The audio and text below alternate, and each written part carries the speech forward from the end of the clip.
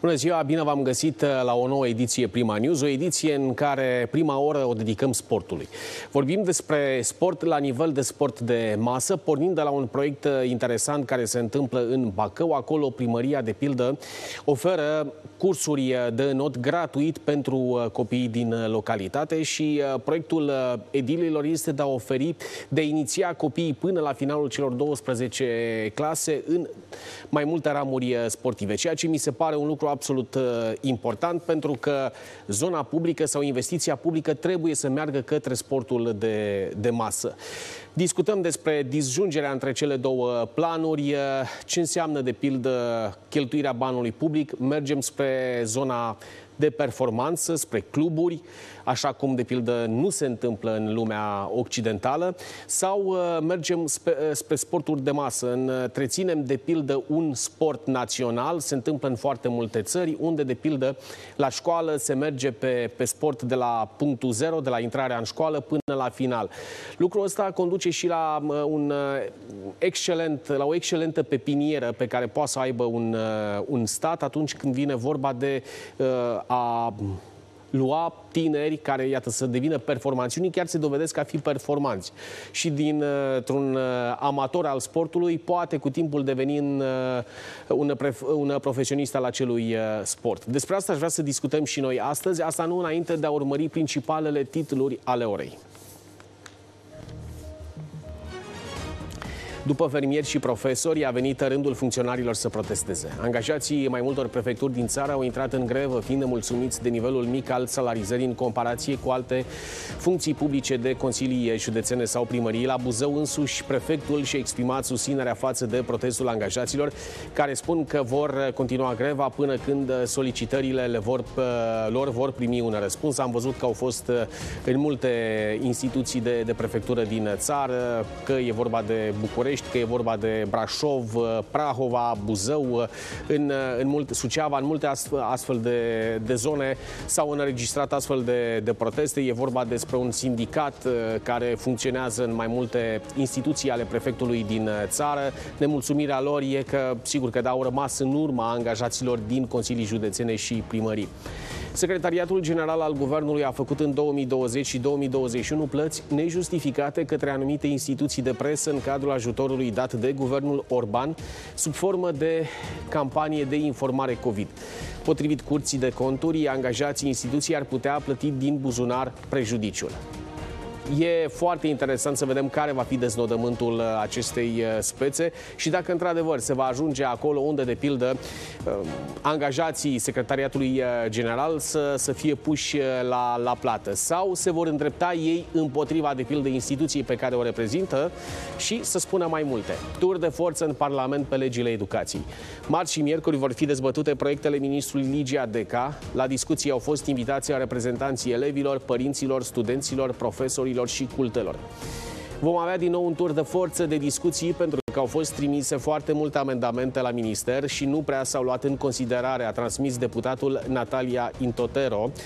Eu acum sunt foarte curios pentru că, iată, președintele Comisiei de Învățământ a Camerei uh, Deputaților, care e de la PSD, spune, domnule, vom inventaria, vom face o uh, selecție a acestor propuneri și invităm uh, aceste, uh, aceștia reprezentanți ai părinților, ai profesorilor, uh, tocmai pentru a vedea care ar fi o variantă mai bună de, de lege. Mi-e teamă să nu fie o chestiune populistă. Oare se, uh, nu știu, se bifează toate aceste propuneri, toate aceste amendamente într-o zi sau două, pentru că înțeleg că e marți și miercuri uh, acest uh, tur de forță care se va întâmpla în Parlamentul uh, României. E un cartonaj galben pe care nu știu. Comisia uh, îl arată ministrul Ligia Deca, ministru al PNL sau al administrației prezidențiale.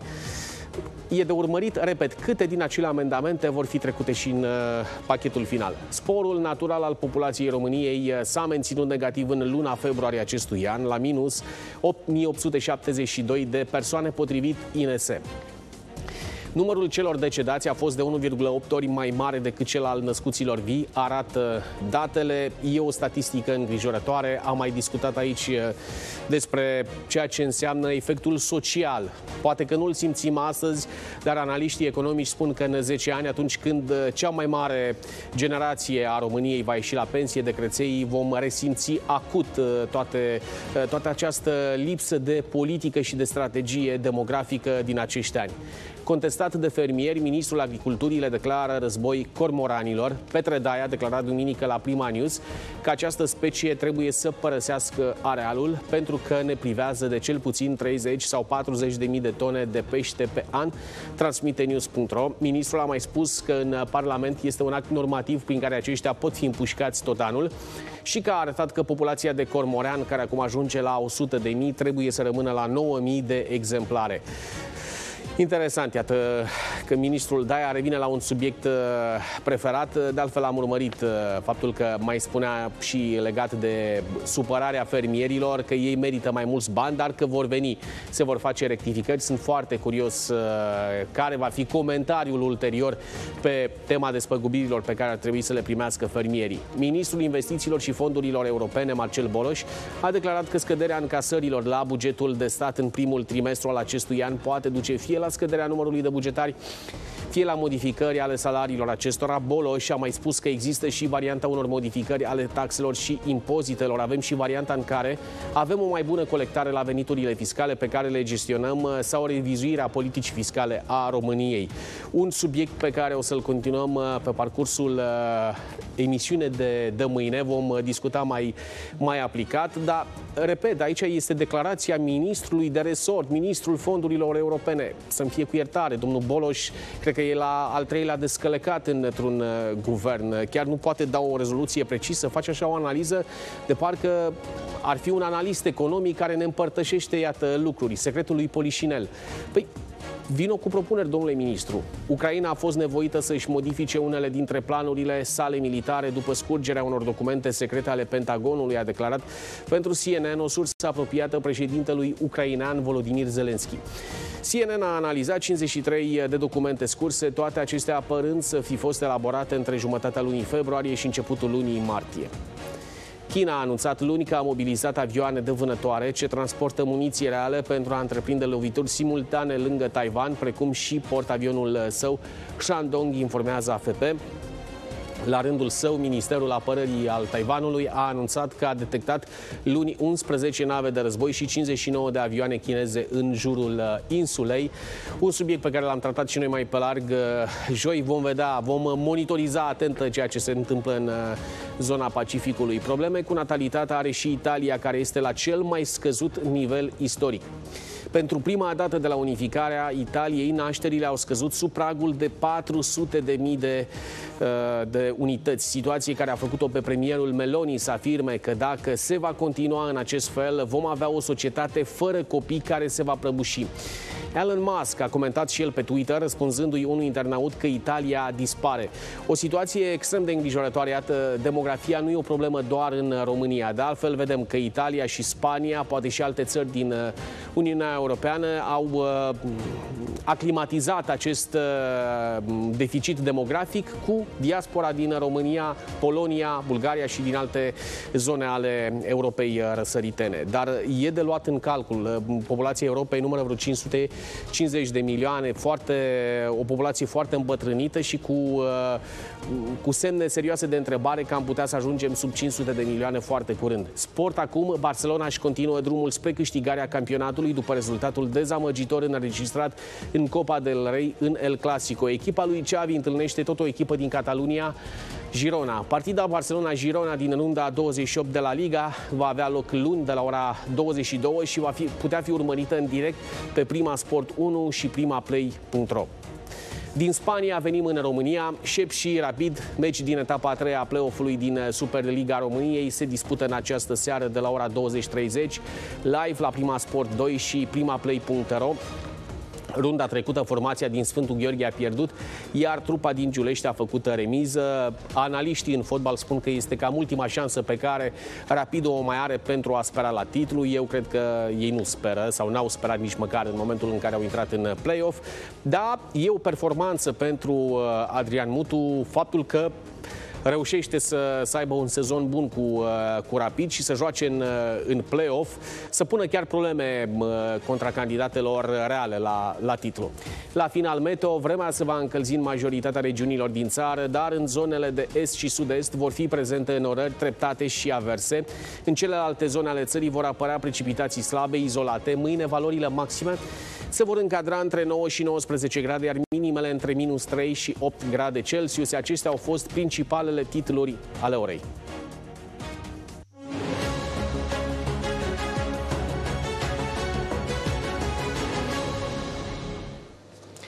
Am revenit aici în uh, Prima News și sigur că da, povestea noastră de, de astăzi uh, se referă la, la sport, la sportul uh, de masă și la investițiile publice care ar trebui să meargă către sportul de masă și nu către cel de, de club. Ce sport ați vrea să fie învățat la, la școală. Răspunsul vostru aștept pe Facebook-ul uh, Prima News și evident pe numărul de WhatsApp pe care îl avem la dispoziție 0727 222 244. Discutăm uh, pe larg despre iată acest uh, subiect. Răzvan Pleșca, fost portar în uh, Superliga României. E alături de mine aici în uh, platoul Prima News. Mulțumesc tare mult pentru prezență. Mulțumesc pentru invitație. Alături de noi se află și domnul uh, Lucian Viziteu, primarul municipiului Bacău și sigur că da, inițiatorul unui proiect extrem de interesant pentru ceea ce înseamnă sportul de masă din, din municipiu, cursuri de inițiere în not gratuite pentru, pentru copii. Domnule primar, mulțumesc tare mult pentru prezența dumneavoastră. Eu mulțumesc pentru invitație. În uh, scurt timp, adică undeva pe la jumătatea uh, emisiunii acestei ore, o să-l avem alături de noi și pe Sabin German, uh, realizator România de la A la Z, realizator Prima News. Domnule primar, pornesc chiar de la acest proiect pe care, iată, dumneavoastră l-ați lansat, acela de a acorda posibilitatea tinerilor, copiilor de a face, de a face sport. Și mă gândesc, iată, la faptul că sunt importante investițiile în sport, uh, vorbind și de sănătate, vorbind și până la urmă de, de formarea acestor, acestor tineri, dar înțeleg că pe parcursul anilor de școlarizare aveți în intenție ca uh, municipalitate, iată, să acordați posibilitatea inițierii în alte ramuri sportive pentru copiii care, care învață. Cum a venit, iată, această mm această idee de a oferi tinerilor uh, posibilitatea de a face not. Și aș mai porni de la un lucru. Astăzi, înainte de, de a veni la emisiune, vorbeam și nu doar astăzi, vorbeam și, uh, și ieri cu cunoștințe, apropo de cât de complicat e să faci astăzi sport de masă, să-ți duci copilul la un sport care să nu facă neapărat performanță. E un adevărat lux pentru că trebuie să plătești, indiferent de ramura sportivă pe care, uh, pe care o accesezi. Vă rog. Da, uh noi am plecat de la o necesitate. În primul rând, foarte multe familii de tineri au plecat din municipiul Bacău în ultimii 20 de ani. De altfel, județul Bacău este printre cel mai depopulat din uh, România. Uh, lucrăm pe mai multe componente strategice de a face orașul mai atractiv, din nou pentru familii, pentru copii, pentru tineri. Una dintre componentele este strategia pe sport. Uh, bineînțeles, ca și alte municipalități, ne ocupăm cu dezvoltarea infrastructurii sportive, dar nu e suficient, trebuie și asta îmi doresc ca sportul să devină o parte a culturii băcoanilor.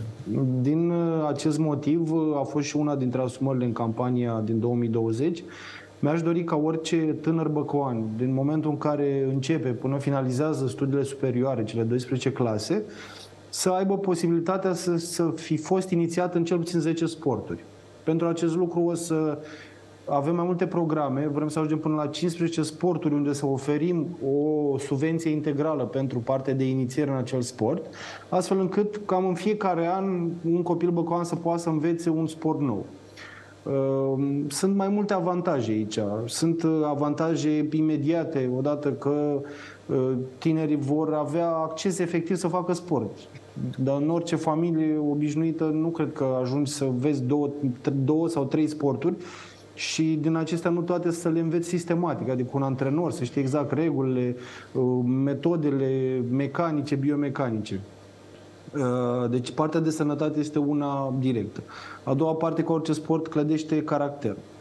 Uh, mai există partea de, că tot e la mod acum, anti-bullying. Odată ce faci sport și ai, vezi ce înseamnă fair play, mai, mai greu vei, vei ajunge într-o parte de bullying.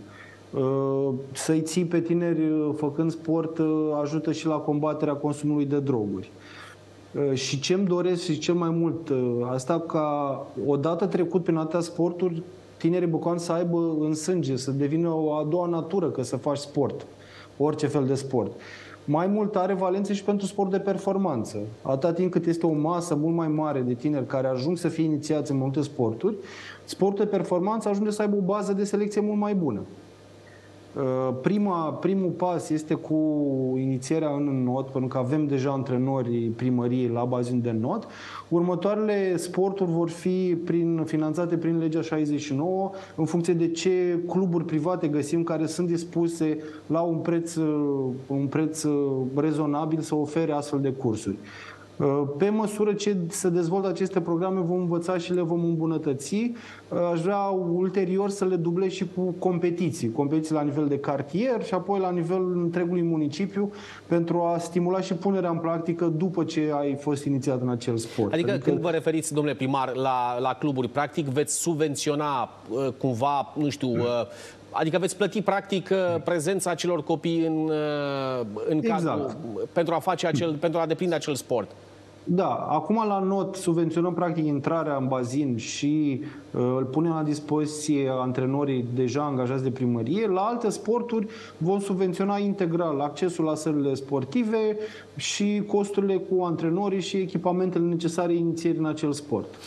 Pun uh, Răzvan Pleșca, ca fost performer în, uh, în sportul românesc, uh, în Superligă, sigur, e, e o nișă foarte restrânsă de tineri care ajung de pildă să facă performanță. Acum, pornind chiar de la, de la aspectul ăsta, cât de important e și nu știu dacă societatea românească clar nu conștientizează și, uh, uite, fac o mărturisire uh, la începutul gimnaziului, pentru un trimestru mi-am dus și eu de, mi-am făcut adeverință medicală să nu fac uh, sport. După, aia, uh, după care am văzut că se juca handbal la uh, așa și nu se făcea neapărat gimnastică, că mi-era teamă că trebuie să ne dăm peste cap să stăm în mâini. M-am dus la toate, la toate orele de, uh, de educație fizică pentru că sportul te atrage, adică te, te provoacă. Și pornind de la, de la treaba asta, repet, societatea românească nu conștientizează. Avem și o problemă medicală, cum uh, uh spunea și, uh, și domnul uh, primar, adică avem o, o generație cu copii supraponderali, uh, vorbim chiar de obezitate într-un număr mult mai mare decât în trecut. Poate că în trecut nu știam noi atât de multe, dar e ceva care să, să ne îngrijoreze. Și pornind de, de aici, cât de, nu știu, cât de conștient ar trebui să fie societatea românească când vine vorba de sportul de masă?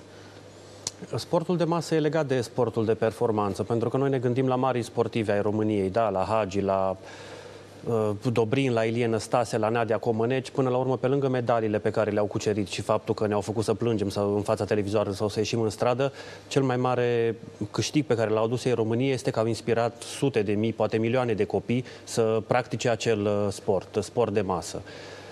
Acum, pe vremurile alea, sigur, nu ne mai putem raporta, dar aveai și unde să practici acest, aceste sporturi. Acum, din păcate, ok, vedem așa proiecte la nivel local, dar asta ar trebui să existe proiecte la, la nivel național care să fie reglementate de unele legi.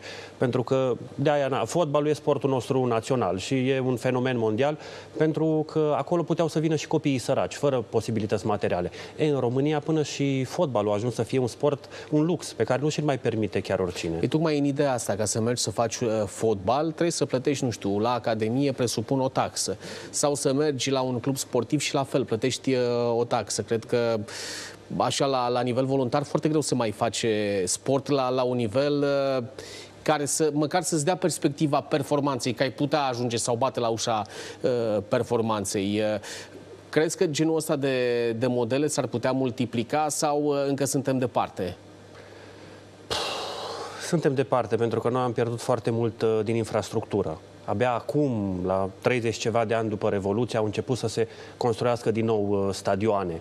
Și apar așa, foarte greu și foarte rar. La fel știu că situația bazinelor de not, adică e una îngrijorătoare. Ok, îl avem pe David Popovici, dar asta nu înseamnă că suntem o nație bună la not. Am mai avut și Diana Mocanu, Camelia Pote, că au mai fost așa niște... Exact. Dar cum crezi, sportul de masă, uite că mă gândeam de pildă la țările nordice, ei acolo au uh, cât un sport pe care îl practici din uh, intri în școală și până la, până la final. Uh, pentru că am uitat și uh, domnul primar vizităm mai devreme bază de selecție. Adică poate deveni o bază pentru, uh, pentru sportul de performanță serioasă când ai un număr mare de copii, de tineri care practică acel sport. Da, uh, bun, nu trebuie să ai un număr mare de copii. Ar fi obligatoriu ca toți copiii să da. practice sport. Nu are rost să facem statistici, să spunem că avem 10% și am crescut față de anul trecut sau nu știu ce. Toți copiii ar trebui să practice sport sau cel puțin să li se ofere această posibilitate de a practica sport. Dar pentru asta ai nevoie de infrastructură. În țările nordice sau mai fost și în Ungaria, nu se pune problema ca dacă vrea copilul să practice fotbal, handbal, chiar și în not sau tenis să nu aibă infrastructura necesară pentru așa ceva. Domnule primar, apropo de, de infrastructură, tocmai că mergeți pe, pe not, uh, vor fi suficiente bazine, nu știu, uh, aveți anumite parteneriate probabil cu, uh, cu zona privată în care copiii să aibă acces la, la bazine? Noi suntem un caz fericit, avem un bazin municipal modernizat și în acest bazin este loc suficient pentru toți copiii care vor să inițieze în acest program. Pentru alte sporturi avem programe de reabilitare a sălilor de sport din școli, uh, Vom face parteneriate cu Direcția Județeană de Sport și Tineret pentru sala de atletism, sala sporturilor și, dacă avem noroc, guvernul ne poate finanța și modernizarea stadionului din Bacău, unde este în ultima fază cu documentația tehnică. Da, acel stadion, eu acum vă întreb cât se poate de, de profan, uh, de, de cine aparține, pentru că la un moment dat purta, dacă nu mă înșel, uh, chiar numele fostului primar, uh, Dumnezeu să-l ierte, Sechelariu. Da, da, era, dacă nu mă înșel, așa se și chema stadionul Dumitru Sechelariu, pentru că era și patronul clubului. Acum nu știu de cine aparține acel stadion. Este, aparține primăriei Bacău, a fost construit uh, acum mulți, mulți ani și necesită o modernizare capitală. Nu se poate păstra mare lucru din el, dar terminăm în curând toată documentația și apoi vom merge la guvern pentru a ne finanța și sper aici, așa cum și domnul Pleș a spus, să existe din partea lumii fotbalistice o susținere cât mai mare, pentru că ar fi singurul stadion de anvergură mare din toată zona Moldovei. Păi, uh, nu știu, cred că mai e la Iași, dar la Iași e ceva mai nou, uh, nu știu exact. Nu, e, e mai mic stadionul de la e Iași. Mai mic. Are vreo 12.000 de locuri, ăsta de la Bacău, într-adevăr, încăpeau și 25.000 de oameni. Am prins, am avut noroc să joc pe stadionul ăla, era ceva deosebit. Da, da tu... așa este și acum, 23.000 de locuri, uh, va fi, este proiectat pentru a găzdui și meciuri internaționale de nivelul UEFA 4. Da, aveți, uh, nu știu, acum, uh, de pildă că tot am vorbit de stadion, aveți niște, mm, uh, nu știu, noutăți sau aveți niște informații cum că cei de la, nu știu care e compania care se, mm, se ocupă, Compania Națională de Investiții. Compania Națională de Investiții, dar da. ei execută atâta timp cât este buget. Este decizia guvernului pentru finanțarea proiectelor mai mari. Prin hotărâri de guvern se alocă finanțare pentru așa ceva. Anul acesta guvernul a guvernul și a, a avut aproape Parlamentului, au bugetat un, o sumă generoasă pentru astfel de investiții, dar va rămâne în final o decizie la nivelul guvernului, deci una politică. Ceea ce spunea și Răzvan Pleșca mai devreme, apropo de faptul că ar trebui, iată, e important faptul că se întâmplă în comunități, în localități, genul acesta de, de susținere a sportului de masă și investești practic în pentru că asta e investiția publică într-o, într-o zonă de, de masă și o să ajungem uh, să vorbim probabil și ceea ce înseamnă susținerea poate a primărilor pentru sportul de club. Acolo sunt foarte multe discuții dacă e bine sau, sau nu e, dar investiția e firească să meargă către sportul de masă. Ceea ce faceți la, la Bacău e un, e un start-up, ca să zic așa. Uh, vedeți să se multiplice și în alte zone acest uh, proiect și mai cu seamă că vorbea Răzvan Pleșca de uh, ceea ce înseamnă legislație. Adică modelul dumneavoastră, nu știu, să inspire pe, pe alții de la nivel central să facă și o legislație în, în consecință. Astăzi, să te duci cu copilul să facă sport e, e realmente un lux. Da, de când am anunțat au fost multe primării din țară care mi-au solicitat informații pentru a replica modelul. Din ce știu, anul acesta s-au adoptat două legi care sprijină sportul pentru tineri. Una chiar obligă administrațiile locale să investească 30% în sportul pentru junior și tineret. Deci orice sumă investesc în sport, 30% se ducă pe zona de tineret și juniori. Urmează să vedem cum va fi pusă în aplicare în, la nivel de țară. Dar este clar că uh, infrastructura cât mai accesibilă este, trebuie să fie prioritate și apoi orice fel de program care să încurajeze, într-adevăr, toți copiii să se mai desprindă de calculator, telefon și să practice orice sport.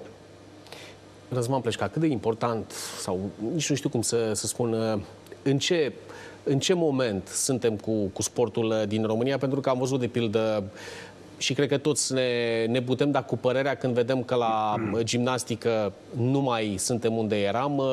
Avem, de pildă, performanțe în tenis, dar e o chestiune individuală, cum a fost Simona Halep. Uh, chiar ne-am bucurat și pentru uh, Solana Cârstea, pentru ultimele rezultate, dar lucrurile se, se estompează. Nu mai vorbim de, de fotbal. Dan Petrescu spunea recent că CFR Cluj uh, probabil va fi ultima echipă care va juca într-o primăvară europeană. Să vedem când, când va mai ajunge. Nici nu îmi amintesc de declarația lui, lui Hagi din 98, când spunea ar trebui să ne ridicați statui. Era acel 3-2 cu Paraguay în, pe Ghencea, cu gestul, sigur, regretabil al lui Stelea la, la vremea respectivă. Dar suntem unde? Suntem în... Am căzut deja în prăpastie sau suntem pe buza prăpastiei? Acum, nu cunosc toate datele astea, dar e clar că noi nu mai avem rezultate în sport, nu doar în fotbal. Ne uităm și la Olimpiade, la Jocurile Olimpice, unde la un moment dat eram pe locul 3 în 84 la Los Angeles, la medalii. România era pe locul 3. Performanțele astea care apar sunt mai mult individuale, cele de, de la tenis, chiar și performanța lui David Popovici, ceea ce face el, o trec mai degrabă la o performanță individuală. Pentru că atunci când vine vorba de sport de, sport de echipă, de performanță, nu mai avem nici la handbal, unde era în campion mondial, puțin la handbal feminin și, și cam atâta. Și aici uh, e Uh, o mare greșeală care se face, cel puțin la fotbal, se spune că statul nu uh, sprijină suficient. În fotbalul românesc, statul român, prin intermediul cluburilor finanțate de primărie, uh, investește foarte mulți bani. Doar că acești bani, uh, mă rog, hai să spunem că nu sunt cheltuiți eficient. Păi sunt câteva cazuri, am avut chiar echipe de Liga 1 și cred că mai avem echipe de Liga avem 1 care sunt... Uh, Bun, aici cred că ar trebui făcut o disjungere precisă. Adică te duci și investești, da, uite, susții copiii care merg să facă not sau să se inițieze în alte 10 ramuri sportive. Mi se pare absolut uh, important copilul ăla să aibă acces la sport decât, nu știu, să mobilizeze acei bani uh, într-o echipă de, de club. Da, Bineînțeles că... Eu dacă îmi fac o echipă de club uh, de pildă, eu uh, practic finanțez și echipa statului da. și com- concurez cu echipa la care sunt, uh, la care, pe care o, pentru care plătesc taxe și impozite și am și echipa mea care trebuie să fie în, în competiția asta. E, e într-adevăr o, o chestiune extrem de complicată. Așa e. Facem o foarte scurtă pauză. Domnule primar, Răzvan Pleșca, o să vă rog să rămâneți cu noi. O să fie și Sabin German în câteva momente. Revenim.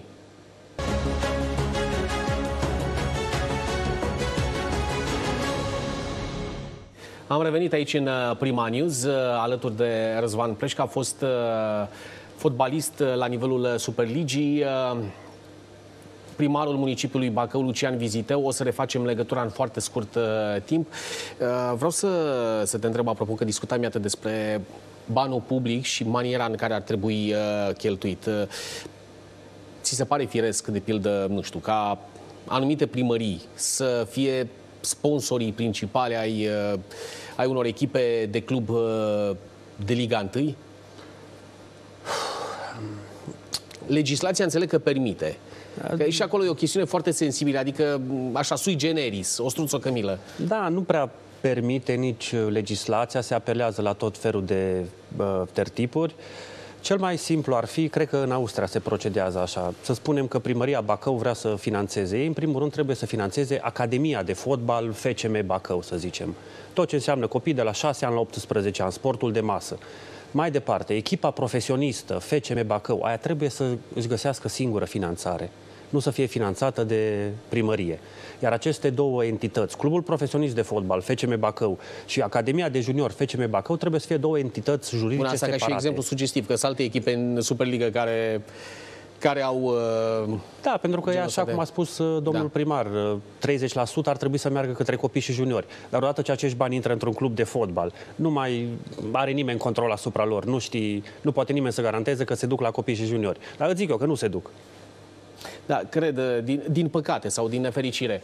Uh, îl avem și pe primarul municipiului Bacău, Lucian Viziteu. Domnule primar, apropo de ceea ce vorbeam cu Răzvan Pleșca aici mai, uh, mai devreme, cum ați vedea finanțarea asta? Adică credeți că, nu știu, ar trebui banul public să meargă la nivel profesionist sau banul public ar trebui să meargă pe genul ăsta de inițiative în care susții, de pildă, sportul, sportul de, de masă, sportul prin care copilul simplu să aibă acces, tânărul simplu să aibă acces la, la un sport?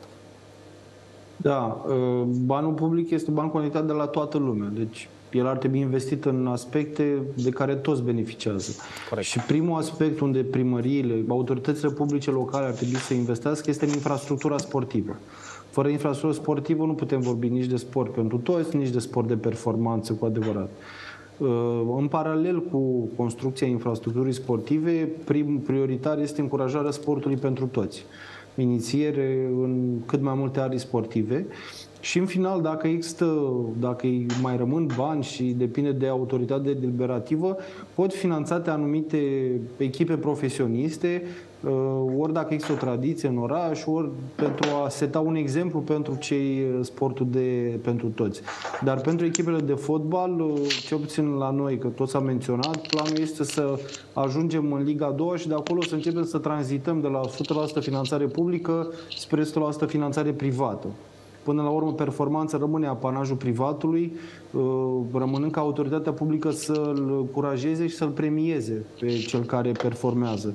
Dar grija autorităților și a primăriei cred că ar trebui să fie pentru toți, toți cetățenii, nu doar pentru cei 1-2% care reușesc să performeze. Da, tocmai în, uh, în ideea asta, um, acum nici nu știu, uh, cum vi se pare faptul că sunt în Superliga echipe care au primăriile în, în spate și încă primării de, de comună. Mm am, și voluntariu. A fost comună plină prin 2000 și, și ceva, acum e, e oraș. Dar Chiajna e Liga a doua. Chiajna clar era comună. Era, nu, vi se pare că așa o leacă nu știu cum să, să numesc, că vreau, vreau să, să par cât se poate de, de echilibrat, dar nu știu, e nevoia cuiva de... Vă rog. Fiecare localitate are reprezentanții săi aleși locali, care reprezintă comunitatea în consiliile locale, care deliberează oportunitatea investirii bugetului local. Dacă așa consideră acolo, asta înseamnă că este și voința cetățenilor din acele localități să financeze astfel de echipe. Poate să fie un simbol local, poate să fie multe rațiuni. Eu v-am spus opinia mea, în principiu sportul pentru toți copiii și toți tinerii cred că este prioritar. Bun, îl avem alături de noi și pe Sabin German, realizatorul la România de, de la A la Z. Sabin, mulțumesc pentru uh, prezență. Aceeași întrebare pe care, iată, i-am adresat-o domnului uh, primar de la Bacău, domnul Lucian Viziteu, aceeași întrebare pe care am adresat-o și lui Răzvan Preșca, uh, apropo de, de sport. Cât de important e, de pildă, ca sportul de masă să devină o prioritate pentru zona publică? Vorbeam cu ceilalți doi invitați de faptul că, iată, autoritatea publică trebuie să fie uh, pregătită sau să fie interesată de sportul de masă, de, de accesul tuturor la, la sport. Și sigur, în momentul în care vorbim că avem echipe de, de Liga 1 susținute din banul public, acolo ar trebui să fie sfera, sfera privată. Da, sigur, pornind de la uh, faptul că, iată, există uh, sport de masă și tu știi foarte bine, presupun că te mai întâlnești și cu alți părinți, astăzi ca să accesezi sport de masă, e un lux, adică e foarte, foarte greu să, să plătești pentru un uh, copil să facă sport. La Bacău, de pildă, se întâmplă acest proiect uh, cu cursuri de not pentru uh, toți copiii și, înțeleg, inițierea în 10 ramuri sportive pentru copiii din, din localitate. Cum ar putea să se multiplice un astfel de, de proiect? Salutare, bună ziua tuturor invitațiilor. Păi aici aș face comparație cu sistemul de educație, cu școala. Noi ne lăudăm cu Hagi, cu Nadia, cu Lăcătuș, cu Dan Petrescu, dar în același timp suntem la pământ cu fotbalul, cu gimnastica și aproape cu tot. Da? Ne lăudăm cu olimpicii noștri care merg, nu așa, și iau medalii la matematică, medalii de aur la astrofizică, medalii de aur la chimie sau la mai știu eu ce, dar școala este la pământ. Până nu băgăm și facem acea clasă mijlocie și în uh, școală și în sport, și sportul va trebui să fie important ca sport de masă, că de acolo se ridică performanța, da? nu o să facem absolut nimic. Uite, de exemplu, în Franța, înotul este obligatoriu.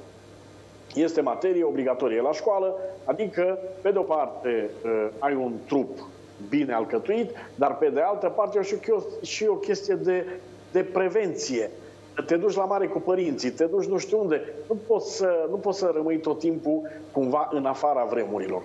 Mă uit la Ungaria. Ungaria campioană mondială la polo, pentru că acolo la fiecare, tot al, trei, la al treilea sat, este un bazin de nord. Nu mai vorbim de Cehia, nu mai vorbim de țările din nord.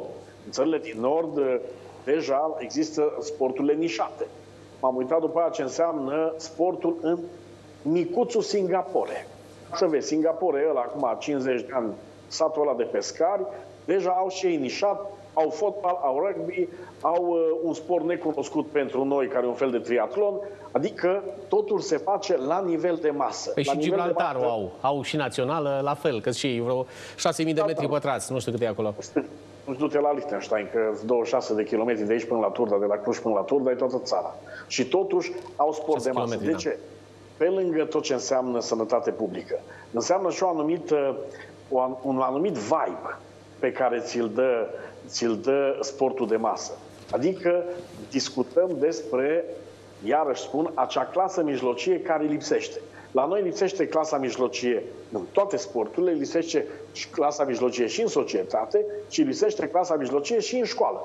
Adică avem ori premianți, da, puțin, care se duc la olimpiade sau se duc la campionate, sau uite, David Popovici, performanța de ieri, ori pur și simplu zero barat în jos. De asta este extrem de important proiectul de la, de la Bacău. Pentru că pentru prima dată vine și pune problema acelei clase mijlocii, acelei, acelui sport de masă. Gândește ce s-ar întâmpla dacă și în Ministerul Educației s-ar întâmpla așa. Bun? Adică se spune foarte clar de ce avem noi nevoie la 18 ani. Am terminat liceu. Am nevoie să știu Miorița pe de rost, am nevoie să știu Sadoveanu pe de rost sau am nevoie să am niște instrumente, am nevoie de niște instrumente cu care să încep să înțeleg lumea. Că intru într-o lume reală, în care dacă nu crezi mănânc, dacă nu lucrezi mor de foame. Nu mai ești pe banii părinții. Sau așa ar trebui să fie. În sport este la fel. Pur și simplu. Du-te în Cehia și o să vezi că tot al doilea sat are un luciu de apă. Apoi că e pentru agrement, că e pentru pescuit, totdeauna o să găsești acolo ceva de canoe, ceva de barcă, ceva de, de caiac, ceva de în... Pentru că ei nu își pun problema uh, super performanțe. Ei își, problem, își pun problema sănătății. Și în momentul în care faci un sport, deja se poate spune că e primul pas către sănătate. Să-ți duci copilul, uite, îți dau exemplu, în Cluj. În Cluj să-ți duci copilul la not, te costă undeva între 200 și 400 de lei pe lună dacă îl duci la uh, chestiunile astea mai de, mai de low class. Că dacă vrei să-l duci la nu știu ce piscină, deja îți faci abonament de câteva sute de euro pe an. Da? Ă, dacă vrei să-l duci la... Uite, eu am încercat să-i duc... Fiul meu a vrut la un moment dat volei, tata. Oare cum ar fi să mă duc la volei? Ă, am sunat la foarte puținele organizații se ocupă de, care se ocupă de asta, acum câțiva ani, normal, și mi-a spus, da, sigur că da, dar trebuie să vină de patru ori pe săptămână la antrenamente, că noi nu facem decât de performanță. Și am spus, da, de ce de performanță? Copiii învață la un, la un sport ca ăsta spiritul de echipă.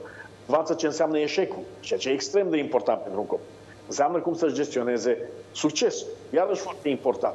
Adică sportul de masă, dacă vrei, pe lângă verticala aia că faci mușchi sau te înalți sau uh, pur și simplu uh, ai plămânii mai sănătoși, Sportul de masă are și pe orizontală niște lucruri pe care societatea da, noastră... e bună nuanța asta pe care, pe care ai deschis-o aici, Sabina. Răzvan Plășca, apropo, tu ai făcut uh, sport de, de performanță. Ar trebui, cum uh, zice Sabin, să fie forma asta, nu știu, de, de trecere de la sportul de masă spre... Adică să vină copilul să facă volei la nivelul la care vrea el, adică să nu fie o chestiune, nu știu, neapărat uh, stresul ăla de, de a face performanță musai.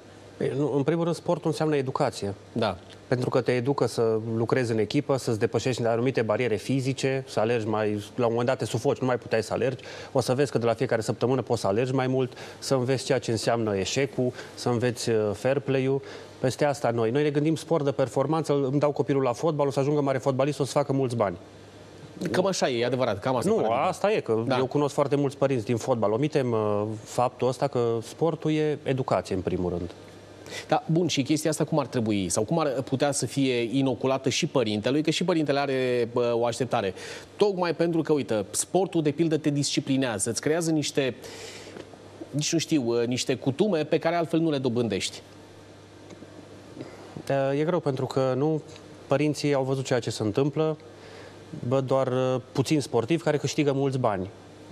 Nu, sunt, uh, nu mai sunt promovați, părinții la rândul lor n-au făcut sport sau dacă au făcut, uh, au luat scutire medicală și nu s-au dus la sport. Așa e, da. N-au văzut ceea ce înseamnă cât de multe beneficii îți aduce sportul. La rândul lor nici antrenorii, pentru că și așa sunt destul de prost plătiți, nu mai au interesul ăla să ofere o educație copiilor. Se ocupă doar de vârfuri, doar de cei care pot ajunge cu adevărat Uh, la un nivel de prima ligă. N-am auzit niciun antrenor să spună, uite, că sunt mândru că am avut un junior la fotbal care a ajuns director de bancă. Da, și asta e, și asta e drept. Uh, apropo, domnule primar, uh, de pildă, cum vă așteptați ca societatea din uh, Bacău să primească propunerea dumneavoastră? În primul rând, cum au uh, reacționat ceilalți în momentul în care le-ați propus uh, această inițiativă? Tocmai de a genera un fenomen, un fenomen de masă pentru uh, tinerii din Bacău. Reacția a fost bună. A existat o dezbatere publică asupra regulamentului, condițiile de înscriere, Consiliul Local a aprobat în unanimitate proiectul, el este deja demarat, avem peste 100 de înscrieri în câteva zile și primele grupe vor începe în data de 2 mai primele grupe de copii de ciclu primar care vor fi inițiați în not, programul fiind subvenționat 100% de către noi. Deci reacția este bună, urmează să trimitem o informare direct către toate școlile, astfel încât uh, profesorii de la clasele 1-4 să poată să difuzeze direct tuturor părinților, astfel încât să creștem numărul cât mai mult. Mi-aș dori ca prin acest program, de acum încolo, următoarele generații să nu mai existe niciun tânăr băcăoane să termine ciclu primar fără să știe să nuate. Da, asta e chiar uh, uh, o proiecție cât se poate de, uh, de sănătoasă și de îndrăzneață. Uh, vreți să faceți, nu știu, vă gândiți așa în perspectivă, pentru că mă gândeam în momentul în care vorbeați de, de faptul că ați vrea ca să nu existe tânări băcăoani care să nu știe să noate, să faceți din Bacău un centru de excelență a notului. Pe vremuri era Oneștiu, uh, că e acolo aproape de dumneavoastră, pentru gimnastică. După aia Oneștiu și-a mutat centrul de greutate la, la Deva. Astăzi vă dați seama că, uite, ca iubitor de sport, habar n-am unde mai, eh, unde mai joacă echipa de României de, de gimnastică, unde se mai antrenează. Dar Oneștiu a rămas ca și reper că de acolo e Nadia Comăneci uh, și, ca, și centrul uh, care era la, la Onești. Vă gândiți în perspectivă să devină pentru un not Bacău similar cum era Oneștiu și Deva pentru, pentru gimnastică? Uh, de ce nu? Sunt sigur că dacă mai mulți copii vor învăța să noate și să practice notul, vom avea o probabilitate mai mare de a da viitor campioni naționali și mondiali de not. Uh, dar, repet, scopul nu este neapărat performanța, ea cred că va veni în mod automat ca un efect secundar. Uh, scopul este ca toți tinerii băcoani, până finalizează ciclul obligatoriu de învățământ, să treacă prin cel puțin 10 sporturi. Dacă reușim să facem acest lucru, cred că ne-am îndeplinit toate obiectivele de sănătate, de coeziune familială, de cultură sportivă și automat nu există șanse să nu apară și vârful de performanță și apoi în funcție de investițiile și guvernamentale, investițiile private, ne putem specializa în anumite secțiuni. Uh, la Bacău avem o facultate de chinoterapie excepțional de bună, este poate cea mai bună din țară și mă gândesc să dezvoltăm și cu mediul privat și cu investiții publice o bază de recuperare sportivă. Pentru că din ce știu, cam toți sportivi din uh, cel puțin din zona Moldovei merg la București pentru recuperare sportivă și am putea face la Bacău aceste, acest lucru. Și așa toți sportivii din toată regiunea cel puțin ar veni să facă recuperare sportivă la noi. Sabin Gerban, uh știu că am mai uh, povestit de-a lungul timpului, România, din perspectiva mea, se poate salva pe bucăți. Dar odată ce se creează, știi, asta e teoria sincronismului uh, a lui Lovinescu, forma creează fondul. De pildă, dacă apar modele modele locale, da, care pe urmă apar tot mai, nu știu, tot mai multe. Ar putea să creeze un, un fond. Te aștepți nu știu, ca în România ăsta să fie traseu, adică începe ceva local care pe urmă să se multiplice național? Numai să nu moară tânără speranța. Și o să spun de ce. Pentru că atunci când comunitățile vor să facă o investiție, de obicei trebuie să meargă cu mâna întinsă la Ministerul Finanțelor sau la nu știu care minister din București. Acum o să spună unii că iară trag oala pe, o spuza pe oala mea. Băieți, până nu se face descentralizare și până nu intră acea autonomie fiscală, care, cum, culmea, există ca ferment, cel puțin legislativ din 2001, din legea 215, nu o să se poată face, pentru că știți ce o să se întâmple? Da, Bacău face un lucru extraordinar, dar o să meargă mâine Slobozia, o să meargă Sighetul, Megidia, da, vrem și noi ca la Bacău.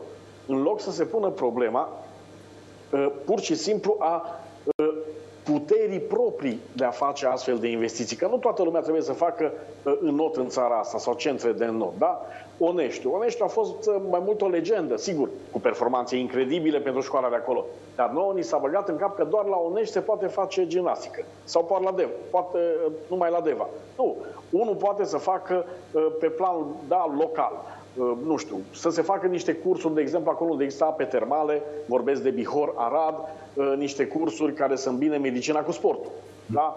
În delta, poate cineva vrea să facă pentru caiac, canoe, etc. În Bacău, iată, s-a început cu, cu înotul. Adică lasă cumva ca lumea să prioritizeze așa cum știe ea local toate uh, chestiunile astea. Că altfel faci ca Năstase. Mai ții minte, Năstase a venit cu 400 de săli de sport. Bă, și le-a băgat în locuri în care media de vârstă e undeva la 60 ceva de ani. Și o să vezi tu cum merge moșul și merge și baba, nu e așa, să facă uh, sport. Nu se face dacă lăsai banii sau dacă lăsai banii comunităților, pe fonduri europene, pe ce vrei tu. Poate unul zicea, băi, eu o să-mi fac aici o sală de scrimă, că nu știu ce copii, dacă cum sunt la Cluj, Obolo, fostul campion olimpic, face în scrimă. Altul zicea, băi, eu nici măcar nu folosesc pentru sport chestia asta, că vreau să fac un depozit agricol. Adică, automat, atunci când dai bani, dai voie să spună și propriile uh, oportunități, provocări, atitudini, înțelegi? Uh, sunt o mulțime de locuri în care se poate face alpinism, sigur, nu la nivelul ăla de mă duc pe Himalaya, dar acel alpinism de sănătate. Uh, turismul de sănătate, da, care în, în vest, din Austria încolo, este extrem de prețuit, la noi nici măcar nu există. La noi turismul de Avem sănătate... Avem și noi, dar așa mai timid. Avem noi, că mergem de Paște în, în uh, Bucovina, în de Crăciun în Maramureș, tragem o beție, două, trei, mâncăm un porc sau el și venim acasă, ce bine ne-am simțit că au mai cântat niște lăutari. E un pic alt da? Turismul cultural, iarăși. Adică tu poți să îmbini chestiunea asta și drumeția este un sport. Da? Uh, du-te odată la, um, la Rimetea, acolo unde e piatra secuiului, și o să vezi o grămadă de străini, da? Da. așa să, pe cine nu știe, Rimetea are o mie de locuitori. Da? Există o pensiune la fiecare 20 de locuitori. Locuitori, nu familii.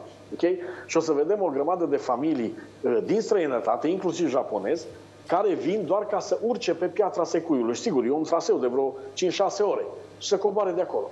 Pentru că este fascinat turistul și de, as, de astfel de uh, categorie, mai mult sau mai puțin sportivă. Nu, nu ni se pare că e sportivă, că noi suntem obișnuiți cu altceva. Da? Adică cumva să îmbini lucrurile astea, să lași comunitatea să spună uite care sunt prioritățile mele, uite care sunt resursele, uite care sunt atitudinile și uite care și sunt provocările. Pentru că deja intrăm și la provocări vis-a-vis de îmbătrânirea populației, plecarea... Sabine, ăsta e, e un subiect care să-l, să-l continuăm. Uh, Răzvan, uite, mai am o curiozitate, pentru că uh, vorbeam aici mai devreme, spunea uh, primarul Lucian Viziteu de uh, faptul de a crea, da, iată, posibilitatea asta ca niciun tânăr să adică orice tânăr să poată spune că știe să, să noate, mai cu seamă printr-un astfel de program. Te aștepți la astfel de centre, adică să apară centre în, apropo de, vorbeam de cheltuirea banului din sfera publică. Prezența ast- unor astfel de centre, adică știm, la Bacău e notul, la, repet, la Deva e gimnastica, la Cluj, când mi-a venit în minte, de pildă, era uh, Corina Căprioru și uh, Arina Dumitru, care se pregăteau uh, medaliatele noastre la, la judo. Și puteam spune, era Florin Berceanu aici, uh, antrenorul, un centru de excelență în judo, am putea, nu știu, gândind felul ăsta o strategie? Nu noi trebuie să o gândim. Nu, cei dar să ne gândim așa, guvernează. evident. Nu, dar într-adevăr, dar de multe ori m-am gândit la lucrul ăsta. Știi, pentru că sunt uh, orașe mici care au tradiție, cum e Zalău, ei au fost da. buni la handbal, care nu pot să susțină și fotbalul și notul și să se concentreze pe ce votează ei acolo. Domnule, hai să fim buni la ceva, dar hai să fim la handbal. Care vor fotbal nu le putem oferi în Zalău, dar se pot duce în Cluj. Sau cum e Bârladul la Ruibi, de exemplu. Și atunci, dacă fiecare comunitate s-ar concentra pe ceva și ar face ceva ca lumea, decât să se dea bani și la fotbal, și la rugby, și la handbal, și la basket, să nu se facă nimic ca lumea, atunci cu siguranță asta ar fi o soluție ideală. Bun, asta e oricum în, în lucru astfel de, adică în lucru, ar trebui să fie ar în lucru să fie, da. o astfel de, de variantă a trecut foarte repede timpul, m-aș fi așteptat că, că o să avem mai multe, mai multe minute la, la dispoziție, la trece repede uh, povestea noastră. Răzvan Pleșca, domnule primar uh, Lucian Viziteu, Sabin German, vă mulțumesc că fiecăruia în parte pentru prezența la această emisiune. Facem o foarte scurtă pauză, la fix revenim cu principalele titluri ale orei. Am revenit aici în Prima News. Această a doua oră de emisiune o dedicăm uh, politicii și, evident, unor proiecte care ne sunt uh, vânturate mai pe la colțuri, uh, chiar uh, cu formulare publică. E vorba de comasarea alegerilor și aici cel puțin reprezentanții PNL și PSD s-au referit la comasarea alegerilor locale cu cele parlamentare. Înțeleg că ar fi o prelungire a mandatelor primarilor și aleșilor locali până în momentul în care expiră mandatul uh, parlamentarilor, tocmai pentru a suprapune cele două rânduri de alegeri. Am mai spus lucrul ăsta, cred că e dorința celor de la putere de a maximiza pe cât pot uh, favorabilitatea electorală pe care au în general aleșii locali. Ei, uh, un primar trage pentru lista locală sau consilierii locali, unii dintre ei vizibili în rândul comunității uh, lor, trag pentru lista respectivă, trag pentru candidatul lor la primărie. Sigur, poate că nu au aceeași apetență când vine vorba despre Parlament, când vine vorba, iată, să, să se atașeze candidaților pentru Camera Deputaților și Senat. Și atunci, suprapunerea celor două alegeri evident că transferă din uh, bagajul electoral local și înspre Parlament. Ăsta poate fi un raționament. Pe de altă parte, se vorbește foarte mult uh, despre alegerile anticipate. Există spun uh, unele surse, un anumit uh, traseu pentru această toamnă. O toamnă în care, la fel, partidele aflate la putere să-și mobilizeze electoratul, cadrele de, uh, sau electoratul propriu, bazinul propriu, tocmai pentru a beneficia de, de un vot cât mai, cât mai mare și asta, repet, foarte important, înaintea toamnei târzii, înaintea uh, următorului sezon rece, care s-ar putea să nu mai fie la fel de blând ca cel din anul acesta. Și ce să vezi, erodarea va fi mult mai, uh, mult mai complicată. Despre asta discutăm pe larg, dar nu înainte de a vedea care sunt principalele titluri ale orei. După fermieri și profesori a venit rândul funcționarilor să protesteze. Angajații mai multor prefecturi din țară au intrat în grevă, fiind nemulțumiți de nivelul mic al salarizării în comparație cu alte funcții publice din consilii județene sau primării.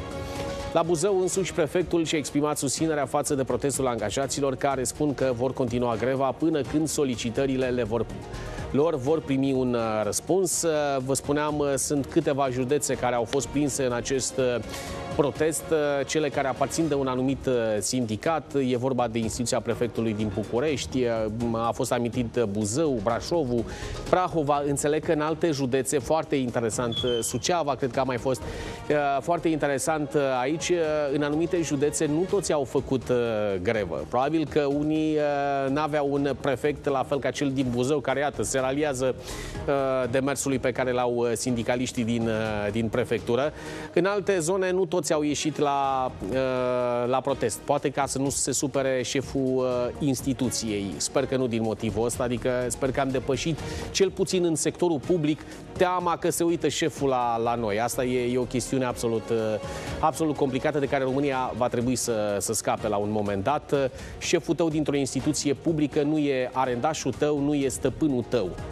E pur și simplu temporar, ierarhic un, un șef care conduce acolo un, un serviciu. Dar asta e o temă în sine. Secretariatul General al Guvernului a făcut în 2020 și 2021 plăți nejustificate către anumite instituții de presă în cadrul ajutorului dat de guvernul Orban sub formă de campanie de informare COVID. Potrivit curții de conturi, angajații instituției ar putea plăti din uh, buzunar prejudiciul. Vă dați seama că dacă se ajunge la o astfel de situație, mă gândesc că acei angajați ai uh, serviciului, ai Secretariatului General al Guvernului vor spune mai, uh, mai multe, dacă, nu știu, au, au fost puși să, să facă anumite lucruri. Dar e o anchetă în curs probabil și vom vedea care vor fi rezultatele. Tur de forță în Parlament pe legile educației. Marți și miercuri vor fi dezbătute proiectele ministrului Ligia Deca. La discuție au fost invitații reprezentanții elevilor, părinților, studenților, profesorilor și cultelor. Vom avea din nou un tur de forță de discuții, pentru că au fost trimise foarte multe amendamente la minister și nu prea s-au luat în considerare, a transmis deputatul Natalia Intotero. Natalia Intotero este președintele Comisiei de Învățământ a Camerei Deputaților, face parte din uh, PSD. Mă gândesc că, că s-ar putea acest tur de forță să, să fie tratat într-o cheie electorală. Doamna Ligia Deca este ministrul uh, președintelui Claus Iohannis, că nu e nici măcar al, uh, al PNL PNL și atunci se intră așa într-un soi de, de retorică a alegerilor. Uite, noi facem, noi inventariem. Sunt foarte curios ca la finalul zilei de miercuri să vedem câte astfel de amendamente propuse, iată, de sfera civilă, de societatea civilă, vor face parte din, din pachet. Chiar sunt curios. Sporul natural al populației României s-a menținut negativ în luna februarie acestui an la minus 8872 de persoane potrivit INSE. Numărul celor decedați a fost de 1,8 ori mai mare decât cel al născuților, arată datele. O statistică ce ar trebui probabil să ne îngrijoreze. Mulți analiști vorbesc despre faptul că efectele sociale se vor simți în 10 ani atunci când generația de cățeilor va ieși la pensie. E un lucru uh, care mie mi se pare că nu e tratat foarte onest, foarte, uh, foarte susținut de, de actualii guvernanți. Avem un minister al familiei, dar strategiile legate de sporul demografic uh, sunt așa, niște niște povești, sau nu neapărat niște povești, niște chestiuni care rezolvă probabil punctual lucrurile. Contest, contestat de fermieri, ministrul agriculturii le declară război cormoranilor, Petre Daia a declarat duminică la Prima News că această specie trebuie să părăsească arealul, pentru că ne privează de cel puțin 30 sau 40 de mii de tone de pește pe an, transmite news.ro. Ministrul a mai spus că în Parlament este un act normativ prin care aceștia pot fi împușcați tot anul și a arătat că populația de cormorani, care, ajung, care acum ajunge la 100 de mii, trebuie să rămână la 9 mii de exemplare. Dacă n-aș fi citit uh, știrea înainte, mă gândeam că cine știe ce uh, război declară domnul ministru Daia și în ce uh, situație complicată a unui conflict militar e, e România. E uh, același uh, discurs sau un discurs care îi place domnului uh, ministru. Eu aș fi așteptat să văd mai multe comentarii legate de nemulțumirile pe care le au fermierii când vine vorba de bani. De altfel, ministrul a făcut au dăugiri legate la faptul că vor veni mai mulți bani, se vor rectifica rectifica acei bani, dar când? Ministrul Investițiilor și Fondurilor Europene, Marcel Boloș, a declarat că scăderea încasărilor la bugetul de stat în primul trimestru al acestui an poate duce fie la scăderea numărului de bugetari, fie la modificări ale salariilor acestora. Boloș a mai spus că există și varianta unor modificări ale taxelor și impozitelor. Avem și varianta în care avem o mai bună colectare la veniturile fiscale pe care le gestionăm sau revizuirea politicii fiscale a României. Domnul Marcel Boloș a fost ministru în guvernul Ponta, în guvernul Orban este ministru în guvernul Ciucă. Pozițiile domniei sale par ale unui analist care vorbește de undeva de la uh, pupitrul uh, sau de la o catedră de, de universitate și iată indică, sau nu știu, din, dintr-o zonă de, de laborator uh, de prognoze economice și oferă soluții cam ce ar trebui să facă. Păi nu știu, când ești ministru în exercițiu, nu propui lucrurile alea într-o ședință de guvern, ești să faci analize publice. E undeva mi îmi scapă această, această retorică.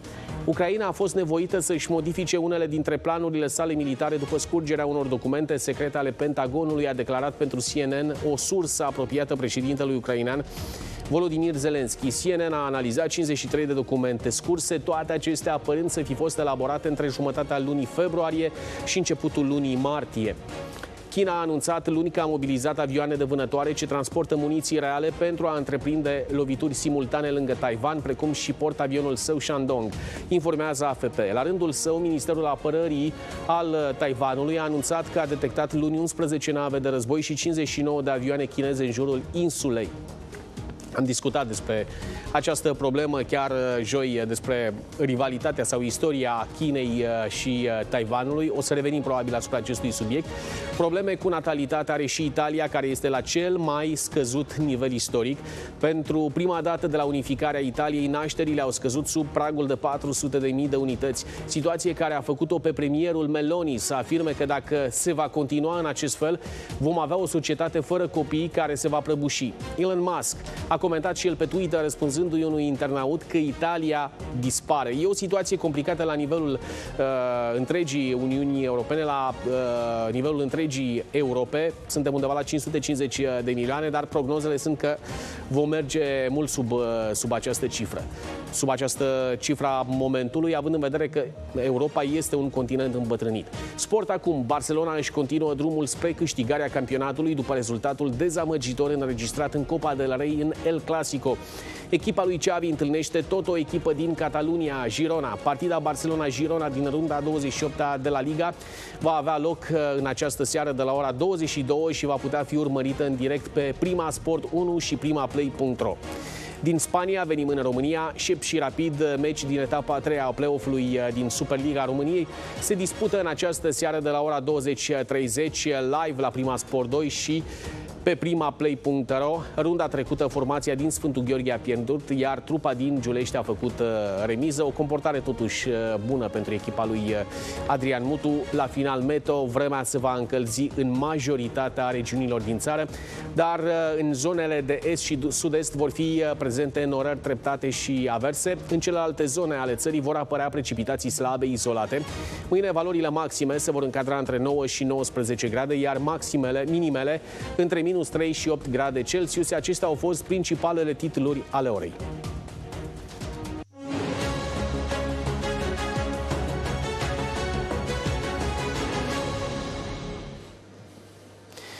Da, suntem aici în uh, prima news. Discutăm despre alegeri uh, comasate versus uh, alegeri anticipate. Avem și în întrebarea de pe Facebook-ul Prima News. Ce variantă credeți că e mai bună? Alegeri anticipate sau comasarea alegerilor locale cu cele parlamentare?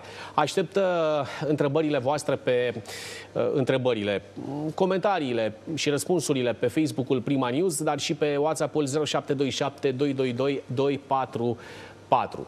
Alături de mine în uh, platoul uh, Prima News se află jurnalistul uh, și analistul politic Florin Danciu, director Cluj24.ro. Domnule Danciu, mulțumesc pentru prezență. Bună ziua, mulțumesc și eu de invitație. Cristina Prună, deputată USR, se află alături de noi printr-o legătură Zoom. Vă mulțumesc tare mult pentru prezență. De invitație.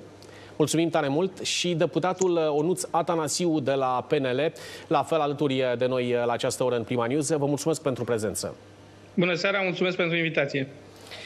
Bun, tocmai v-aș întreba, reprezentați de pildă opoziția în, în această emisiune. Cum vi se pare faptul că, iată, de pildă, reprezentanții ai Partidului Național Liberal, ai Partidului Social Democrat vorbesc despre comasarea alegerilor locale. Domnul Ionus Stroi a fost aici alături de, de noi într-una din uh, emisiunile săptămânilor trecute și vorbea despre faptul că acest proces al comasării, suprapunerea localelor cu uh, parlamentarele ar putea fi un lucru probabil. Și, uh, evident, argumentul suprem a fost cel al al resurselor financiare, adică nu se mai aloc atâția bani.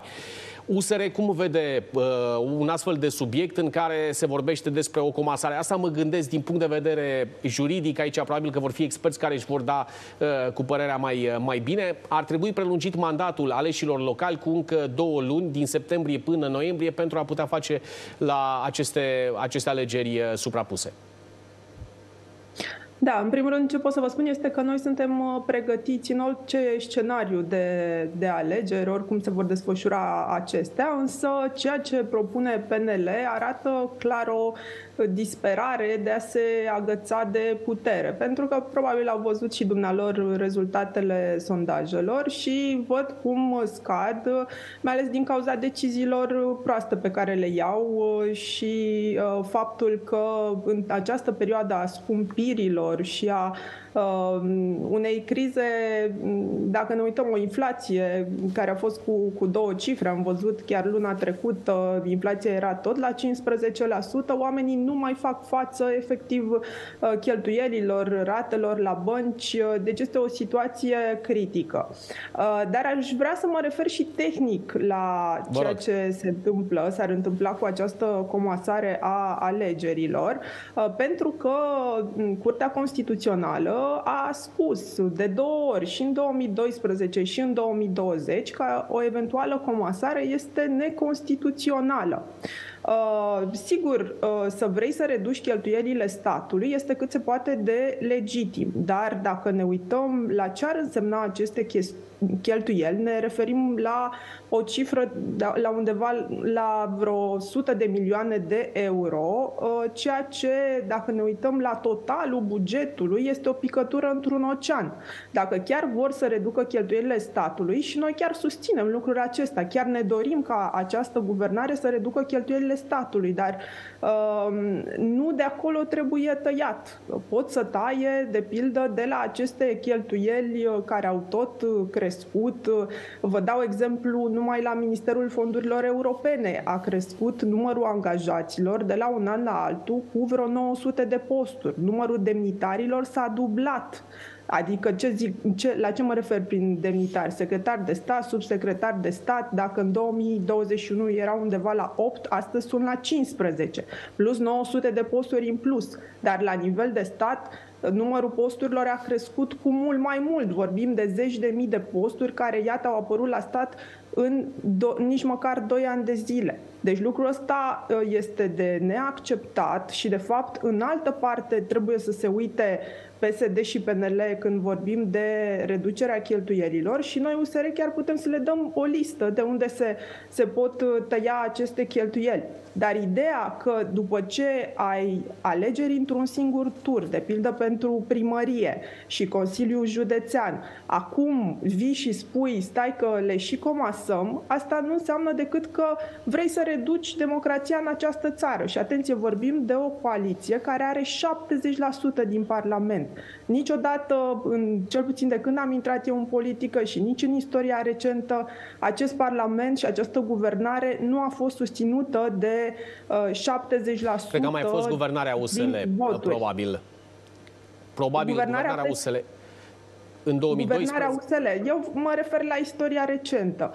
Deci nu a, nu a existat o asemenea susținere și chiar și așa nu vor să facă decât să reducă până la urmă acest drept al oamenilor și această libertate a oamenilor de a se exprima. Pentru că gândiți-vă ce ar însemna ca un om să meargă în urna de voturi cu șase buletine. Șase buletine dacă s-ar comasa alegerile parlamentare cu uh, cele locale. Și chiar uh, și Comisia de la Veneția și Curtea Constituțională spune că ar însemna o restrângere a drepturilor drepturilor și libertăților uh, oamenilor uh, și pentru că uh, oamenii care ar trebui să treacă prin șase buletine de vot le-ar fi mai greu să își exprime Bună, să... votul o să vă rog să rețineți această corectă. idee, pentru că aș vrea să facem un tur de, de opinie legat de, de acest uh, subiect și sigur acum le rog pe domnul Atanasiu să, să răspundă provocării pe care ați uh, lansat-o apropo de, uh, de aceste alegeri comasate. Reprezentați Partidul Național Liberal, cred că a fost partidul mai vocal în momentul în care s-a discutat despre comasare, inclusiv ministrul de interne vorbea despre faptul că ar exista, iată, niște calcule economice care până la urmă justifică aceste alegeri. Dar l-am avut pe fostul președinte al Curții Constituționale, Augustin Zegrean, care spunea că de pildă juridic ar fi foarte greu să faci aceste alegeri, adică nu ar fi constituționale. Credeți că se vor face? Adică asta e varianta optimă, domnule deputat Atanasiu? Da, vreau să vă spun vă bună seara și dumneavoastră și tuturor celor care vă urmăresc și colegilor din platou și doamnei Prună că eu nu cred că vor fi nici alegeri anticipate, cum nu cred că vor fi nici alegeri comasate. Uh, se poate ca alegerile, na, așa cum sunt ele, în momentul de față să fie destul de apropiate unele de celelalte, dar asta nu înseamnă că vor fi suprapuse. Pe de altă parte, vă spun că fiecare, hai să-i spunem, nu leu, fiecare milion de lei, pentru că aici vorbim deja de milioane de lei, de lei contează. Și, spre exemplu, cred că, uite, doamna spunea de 100 de milioane de lei, sunt tocmai banii necesari pentru aplicarea legii 153 pe 2017 pentru personalul nedidactic din învățământ, care nici astăzi nu este adus conform legii uh, 153 pe 2017. Din alt punct de vedere, nu cred că Partidul Național Liberal ar fi avantajat în vreun fel de comasare sau de realizarea alegerilor anticipate. Cred că doar alegerile pot stabili exact, nu sondajele, uh, un clasament uh, real pentru partidele politice și pentru numărul votanților pe care îi are fiecare. Uh, da, Sigur că deputat, de la un tur deputat, de alegeri la altul există... Aveți, aveți 1300 de primari la, la nivel național. Faptul că acei primari vor trage și pentru lista proprie, dar și pentru Parlament, e un beneficiu, adică e un avantaj și pentru PNL uh, și pentru PSD. Așa cum știu eu, primarii uh, din Partidul Național Liberal, să știți că nu s-au dat niciodată în lături de la o muncă din campania electorală, fie ea la prezidențiale și am și văzut rezultatele atunci când au fost implicați cu toții. Ne amintim că președintele Claus Iohannis a avut cel mai mare scor de departe comparativ cu alții și dacă vorbim de alegerile prezidențiale din 2014, pot spune că uh, la primul tur a fost un anumit scor și s-a văzut ce s-a întâmplat în cel de-al doilea tur. Uh, fără implicarea primarilor din Partidul Național Liberal, într-adevăr, este greu, dar asta nu înseamnă că vreodată au dat dovadă că nu s-ar implica. Păi la dumneavoastră probabil că au fost situații de, de genul ăsta, dar știu situații de pildă în Ardeal unde s-au cam dat la o parte, domnul Danciu. De pildă, cum vedeți acest scenariu al alegerilor comasate? Și cel puțin sunt anumiți lideri care vor... Și la PSD a fost primul partid care a dus în discuție alegerile comasate, după care domnul Ciolacu a, dat, a făcut o piruetă și a zis că nu mai uh, vrea comasate, după care au apărut câțiva lideri uh, ai PNL care au vorbit de, de acest uh, scenariu. Vă așteptați? Mi se pare foarte realistă poziția domnului deputat care a spus-o, care a spus-o cu subiect și predicat că nu crede că vor fi nici, parla, nici alegeri comasate, nici alegeri anticipate. Adică Cred că domnia sa uh, știe foarte bine care sunt uh, restricțiile sau limitările legislative și constituționale. Deci cred că e, o, un punct de vedere extrem de obiectiv. Nu mă așteptam din partea unui deputat liberal. Da, da deci, domnul ministru că, Bode spune că e important să facă alegeri comasate. Bode este doctor în științe, deci el este un tip uh, mai deștept decât noi. Eu cred că asta pare a fi așa un fel de diversiune, adică din punctul meu de vedere decizia Curții Constituționale din 2012 sau 2011 este destul de clară, adică acolo dacă comasești cele două deci alegerile parlamentare cu alegerile locale, se, conform Constituției, se pierde dreptul unui primar, da? dacă omul candidează la primărie, nu mai poate candida chiar dacă e ales sau nu este ales ca primar, nu mai poate candida pentru alegerile parlamentare. Și asta zice, zice legea și Constituția României, zic că este lezarea unui... Și pe, și pe acest motiv a fost dată decizia curții de care a spus, domnule, nu se pot, nu se pot comasa cele două tipuri de alegeri. Deci mi se pare destul de limpede. Uh, Dar știți ce mai spunea uh, domnul Zegrean, invocând argumentele pe care le-ați adus și dumneavoastră? Au majoritate, pot orice. Dom'le, sigur. Eu înțeleg uh, rostul sau logica că domnul Bodea a fost cel cu ideea, e dâns, domnia s-a lansat această idee. Eu înțeleg în sensul în care ei și-ar putea securiza într-un fel comasând cele două tipuri de alegeri, și-ar putea securiza și aleșii locali și parlamentarii, da? Și din momentul ăsta jocul s-ar închide, da? Ar mai conta eventual alegerile prezidențiale, dar pe care ei le-ar putea deja controla foarte bine, controlând deja și administrația locală și uh, uh, puterea centrală, da, și Parlamentul da, spuneți și că guvernul. e o diversiune, uh, genul păi ăsta de... Pe așa mi se pare, adică, adică... Așa, de limpede e, așa de limpede mi se pare decizia curții uh, constituționale, încât uh, nu știu ce vor putea... Păi ce mobil să aibă, de pildă, să fie diversiune? Păi, nu știu, lansăm o temă, că asta se putea studia și fără o să o lansăm public. Adică dacă noi ne înțelegem că vrem să facem un anunț public, domnule, dacă nu ne să ne facem de rahat, prima dată discutăm între noi, vedem dacă e posibil și dacă e posibil anunțăm și, da, anunțăm și pașii, da, dar dacă nu este posibil, ne aruncăm că... Și, și domnul Ciuc a zis asta, domnule, vom... Uh, vor analiza specialiștii partidului, nu? Și dacă e posibil, discutăm, dacă nu e posibil, nu mai discutăm, nu?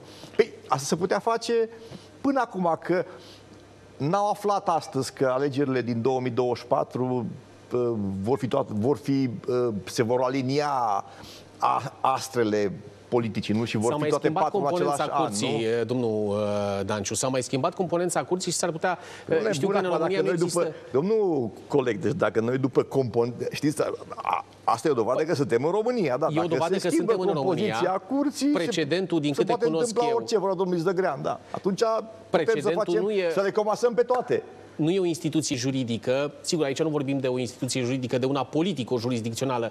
Doamna deputat Cristina Prună, vă așteptați, nu știu, să fie o diversiune, adică ocupă agenda publică coaliția de guvernare cu un astfel de, de subiect și trec neobservate altele?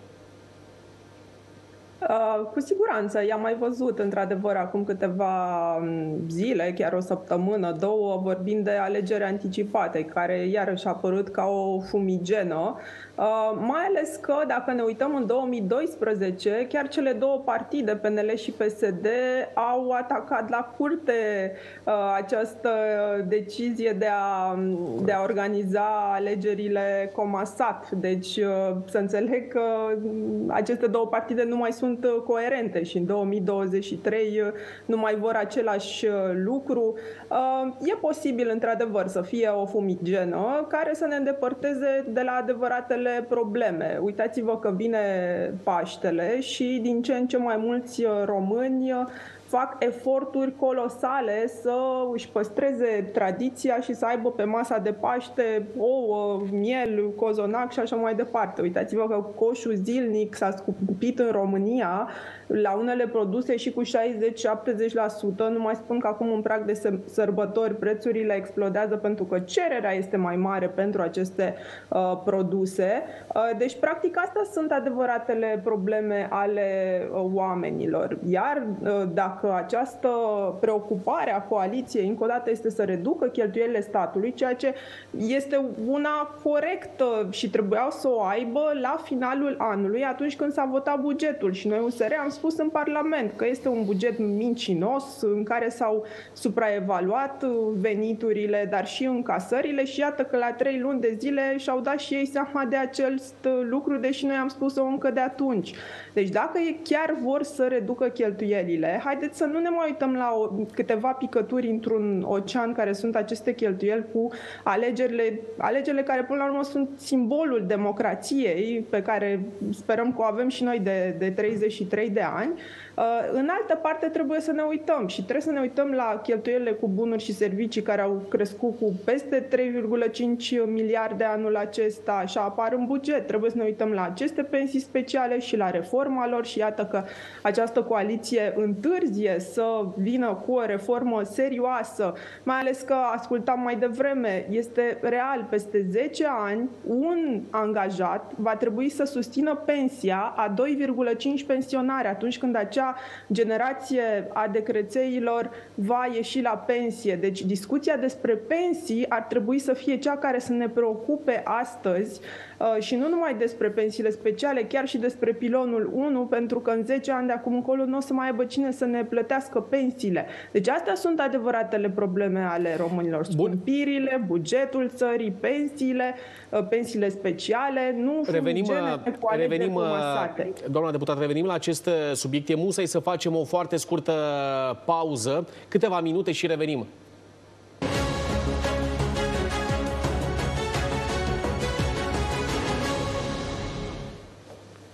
Am revenit aici în uh, Prima News. Uh, jurnalistul și analistul politic Florin Danciu e alături de mine. O să fim în foarte scurt timp, uh, în, suntem deja în legătură și cu doamna deputat Cristina Prună de la USR și domnul deputat Unuț Atanasiu de la PNL.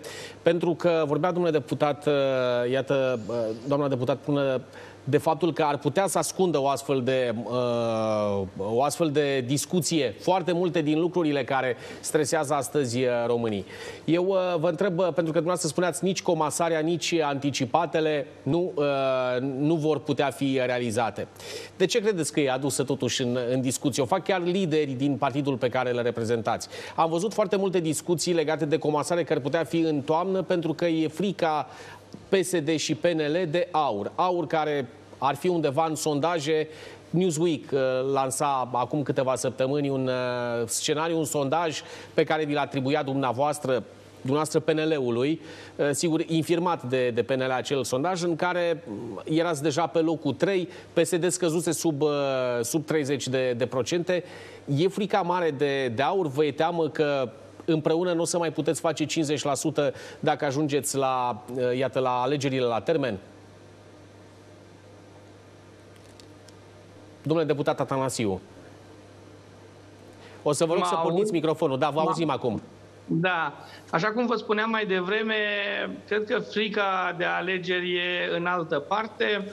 Uh, nu cred că există vreun motiv pentru care Partidul Național Liberal să se teamă de aur, pentru că, din punctul meu de vedere, aur are un alt electorat decât cel uh, despre care vorbim în cazul Partidului Național Liberal. Și cred că cui e frică de alegeri nu prea are ce căuta în politică, din punctul meu de vedere.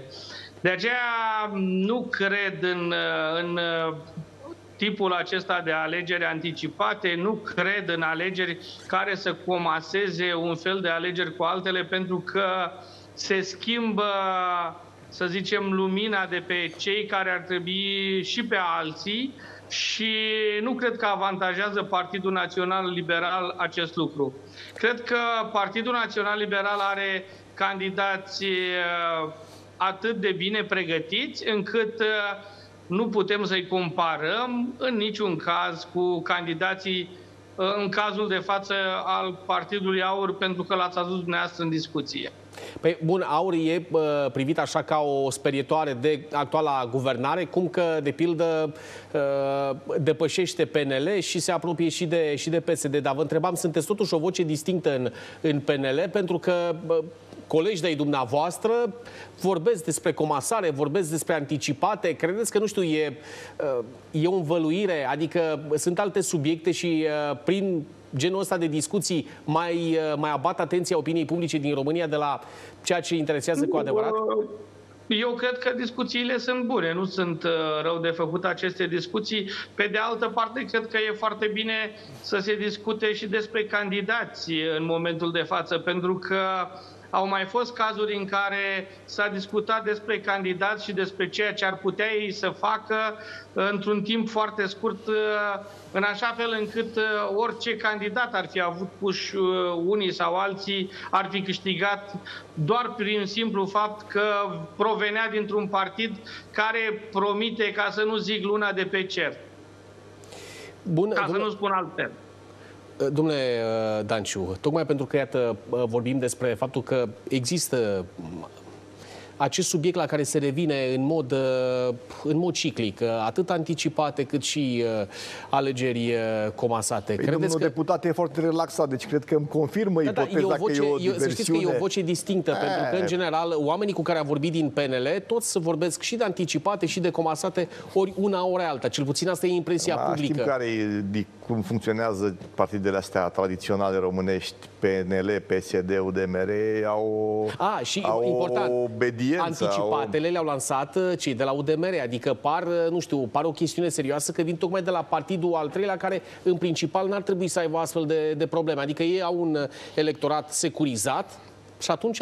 Bine, dar anticipatele au o altă uh, nebunie, acolo să cadă trei guverne, adică s-a mai încercat, nu? Cu domnul, cu domnul Câțu sau cu domnul Orban s-a încercat uh, uh, povestea asta, dar devine... Adică risc, să-ți bați singur cu în talpă, fiind la guvernare, adică e o chestie destul de ridicolă ca să cadă trei guverne pe care să vot, la care să voteze și PNL, și PSD, și UDMR, ca cele guverne să cadă. Ca și Dragnea, care demola singur guvernele. Nu era penibil, era ridicol.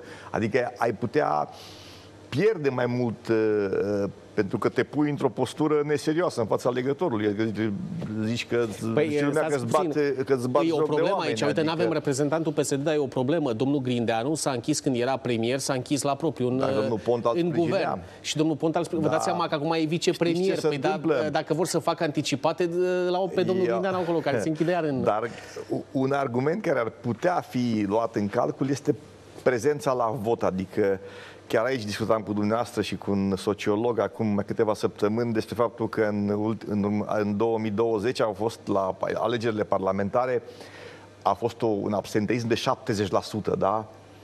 Uh, ori sigur că această comasare a alegerilor locale cu area parlamentară ar, ar mobiliza, adică ar merge lumea la vot, că domnule, îmi votez și primarul și mai votez da. și da, nu știu dacă ăsta e un argument uh, uh, suficient. Uh, cu siguranță ne-am putea gândi că în 2024, uh, dacă să fac cele patru rânduri de alegeri, uh, prezența la vot la alegerile parlamentare și europarlamentare, unde știm că miza este foarte mică, să fie sub 30%, ceea ce abia asta trebuie să ne dea de gândit, dar, cum să spun, democrația așa funcționează, partidele își vor mobiliza rețelistica lor cu primari, consilieri, neamuri, contractanți, subcontractanți pe banii statului, funcționarii din toate primăriile și toate, toate instituțiile statului și vor merge la vot și se vor alege între ei ca să fim uh, restul de două treimi dintre electorat va rămâne în, continu- în continuare, zic eu, nereprezentat. Până când? E, aici, a, a, asta e o întrebare care poate să ne dea fiori cumva. Domnul deputat, uh, tocmai în, în ideea, pentru că, iată, ați amintit și dumneavoastră de, de anticipate, se aduce în discuție și această variantă. Uh, Credeți că e, sunt mai aproape, nu știu, anticipatele decât uh, comasarea localelor cu generalele? Se vorbește de un grafic undeva în toamnă. Am auzit uh, diversi parlamentari uh, care discuta despre, despre un astfel de, de traseu. Uh, asta apropo de ce spunea Florin Danciu mai devreme, cum că ar putea fi mobilizat uh, electoratul propriu și până la urmă cadrele din, din partid care să, evident, să vină la vot și să voteze uh, practic partidele, partidele care organizează alegerile. Uh, da, înainte să răspund la, la întrebarea dumneavoastră, mi s-ar părea trist ca doar aceasta să fie miza alegerilor, anume uh, partidele care sunt acum în actuala Păi și conservă coaliție. rezultatul, adică vor să câștige alegerile. Sigur, dar știți, totuși acest exercițiu democratic pe care uh, avem ocazia să-l facem odată la patru ani ar trebui să fie în primul rând despre programe de guvernare, despre soluții care să crească nivelul de trai al oamenilor, despre cum facem să acționăm toți după reguli egale, nu să avem uh, jmecheri și fraieri, uh, despre cum facem să reducem taxele și povara asupra românilor care am văzut că că nu a adus mai multe încasări la stat, deși am avut două rânduri de creșteri de taxe, un rând în, în august anul trecut și un rând la începutul acestui an și vedem că n-au încasat mai mulți bani la buget, ci mai degrabă duc economia românească între zonă, într-o zonă de gri sau negru, tocmai pentru că nu există cap și gândire economică în această guvernare despre cum să lași mai mulți bani în buzunarul omului ca să se poată descurca și asta contribuie de fapt la creșterea economică. Deci despre asta ar trebui să fie alegerile, nu despre niște calcule electorale meschine. Acum, sigur, dacă ai voturile, poți să faci orice. Poți să faci și anticipate și n-aș vrea să excludem ideea că în România se pot face alegeri anticipate, pentru că constituțional există și această uh, posibilitate de a declanșa alegeri uh, anticipate. Nu s-a întâmplat în România. În 2019, dacă vă aduceți aminte, uh, spuneau cei de la PSD că nu se pot organiza alegeri anticipate în uh, România. Există prevedere constituțională care um, arată că se pot uh, organiza alegeri anticipate. Cei drept este complicat, uh, însă dacă au majoritatea, au un președinte care, iată, a binecuvântat această coaliție PSD-PNL, deși vă aduceți aminte ce ne spunea în campania electorală să, uh, să nu votăm PSD și cum demoniza PSD-ul. Dar, Mai era și celebra expresie, eu nu pot chivano PSD. O știm Asta nu. foarte Asta bine, nu. apropo de, de alianța PSD-ului da. cu DMR. Vă rog. Dar uh, ce vreau să vă spun este că auzeam mai devreme de o, o prezență scăzută la vot. Asta, într-adevăr, este, uh, este un uh, lucru care s-a întâmplat de-a lungul timpului, tocmai pentru că România au înțeles că cei care ajung la guvernare nu se luptă pentru ei și nu pun în aplicare acele promisiuni de șarte pe care uh, le-am tot auzit. Ei bine, eu mi-aș dori ca de data asta românii chiar să taxeze prin prezența lor la vot și am văzut în 2014, eu de pildă eram parte din diaspora românească și am stat ore în șir la coadă la vot. Mi-aduc aminte că a fost o prezență de peste 60% la momentul respectiv la prezidențiale uh, și iată că la momentul acela toată lumea a înțeles puterea votului. Puterea Bun, votului. Da, aș vrea să vă întreb, ce vi se par mai, mai aproape de realizat? Uh, alegerile comasate sau cele anticipate? Vă spuneam, au 70% din Parlament. Ei pot să facă orice în momentul de față. Dar oare asta este prioritatea în momentul de față? Să, să faci alegeri anticipate sau uh, să faci uh, alegeri comasate sau pur și simplu să te uiți care sunt soluțiile pentru ca oamenii să se ajungă cu banii acum în prag de sărbători, să, să reușim și noi să avem o țară care să nu Bun. fie numai pe minus, minus, minus de Trece foarte dată. repede timpul în emisiune și aș mai avea uh, câte un răspuns de la fiecare în parte. Doamna deputat, uh, pentru că e, e subiectul de, de final, credeți că se va face această această rotativă, pentru că am văzut, iată, de pildă, foarte mulți politicieni deja își declină uh, oferta de, de a fi prezenți în, uh, în cadrul viitorului guvern. Vă așteptați uh, ca această rotativă să se întâmple fără niciun fel de, de emoție? Ca opoziție? Asta iarăși depinde de PSD și de PNL și de Claus Iohannis. Până la urmă, ă, știți foarte bine, un nou guvern trebuie votat în Parlament. Dacă PSD și PNL continuă să-și dea mâna alături de UDMR și să păstreze acest status quo, atunci această rotativă se va întâmpla. Dacă nu, atunci vom avea și alegeri anticipate și ce mai vor ei să se întâmple. Domnule deputat Noi Atanasia. suntem pregătiți în orice caz și abia așteptăm să scăpăm de această guvernare toxică.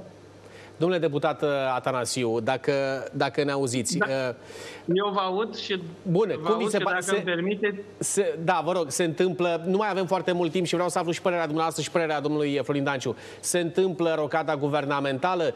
Uh, pentru că Rareș Bogdan, de pildă, spunea că, uite, vrea să vină vicepremier în, în guvern, ministrul la un portofoliu greu, dacă nu face un pas în lateral pentru Emil Boc sau Ilie Bolojan. Vă rog. Deci eu consider că Partidul Național Liberal va respecta întru totul protocolul și va face această rotativă și nici nu va fugi de la guvernare, cum au făcut-o alții nu foarte cu mult timp în urmă. Cred că cineva trebuie să-și asume guvernarea pentru că, spre deosebire de celelalte partide și în special un anumit partid, Partidul Național Liberal, a guvernat nu numai acum într-o situație destul de grea pentru România, pandemie, război la graniță, a guvernat și uh, în perioadele din uh, apropierea primului război mondial, respectiv celui de-al doilea război mondial și cred eu că a reușit ca România să treacă peste acele momente, cum va reuși să treacă și peste această perioadă dificilă și ce să vă spun, rezultatele nu or să fie atât uh, de rele precum le așteaptă cei din opoziție astăzi, deși puteau să fie cu noi la guvernare. Dacă nu ne dădeați afară. Bun. Domnul Danciu. Acum, dacă îl reluăm povestea cu USR și cu PNL, eu cred da, că... Rocada, credeți că se face? Ați da, văzut că... Da, eu totdeauna am spus Fostul noastră coleg va... de, de breaslă, de presă, și-a anunțat... Fostul nostru coleg din... Fostul nostru coleg, adevărat. Vedeți, asta da. e o... El și-a anunțat că dorința de a fi vicepremier, asta ce înseamnă? Că el, de fapt, va fi numărul unu în partid pentru că postul de vicepremier și de ministru de interne sau ministru transportului, nu știu ce ministru, ce ministru va fi Rareș Bogdan, dacă va fi. Transportul, e greu să... Lucian Bode ar fi păcat să plece de la interne, Da, nu? ar fi păcat că dacă, Doamne Dumnezeu, îl cheamă ăștia la UBB să îl mai examineze o dată la, la doctorat. Pentru că după aia poate că ar trebui să meargă, să, să lucreze în învățământul superior. Și da, da, fi... să predea, o să sacrifice pentru studenți.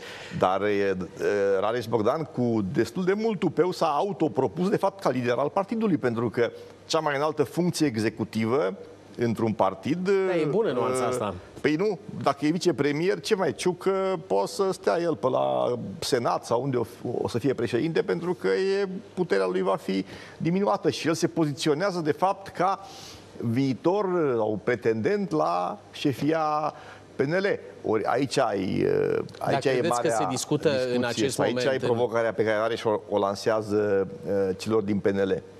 Nu Dacă... știu. Nu știu, poate să fie, acum nu știm pe Rareș Bogdan de mulți ani.